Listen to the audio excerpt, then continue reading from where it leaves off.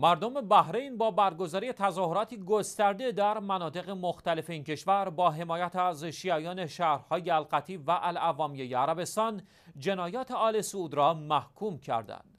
شهرک های بوری، الملکیه و المرخ از جمله مناطقی است که شاهد تظاهرات مردم بحرین در همبستگی با شیعیان عربستان بود. شاین ذکر است مردم مناطق شیعه القطی و العوامیه عربستان چندین ماه است که در معرض یورش ها و حملات خشونت آمیز آل سعود قرار دارند که به بهانه مبارزه با تروریسم و بازداشت عناصر تندرو انجام می شود.